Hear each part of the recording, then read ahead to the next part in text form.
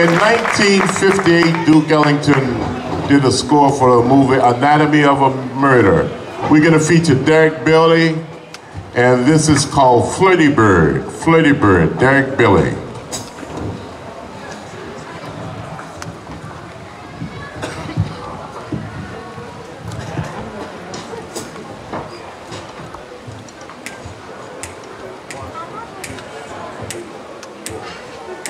Derek